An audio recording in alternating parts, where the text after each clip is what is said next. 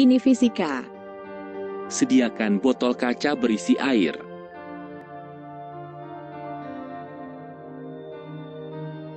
Masukkan serbuk PK ke dalam botol kaca yang berisi air.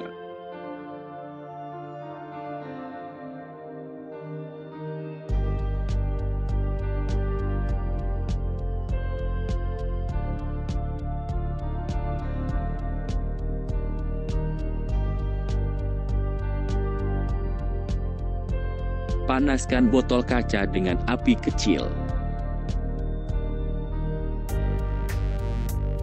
Perhatikan. Ketika dipanaskan, air di bagian bawah lebih dulu panas.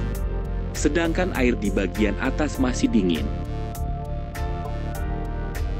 Akibat ada perbedaan suhu antara air, bagian bawah, dan bagian atas, maka terjadi rambatan kalor.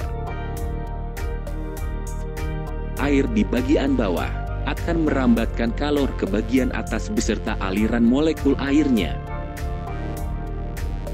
Hal ini karena kalor berpindah dari benda bersuhu yang lebih tinggi ke benda yang bersuhu lebih rendah.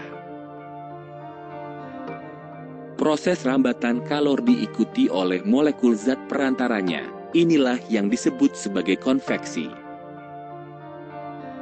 Proses ini akan berlangsung selama air dipanaskan sampai air mendidih dan menguap.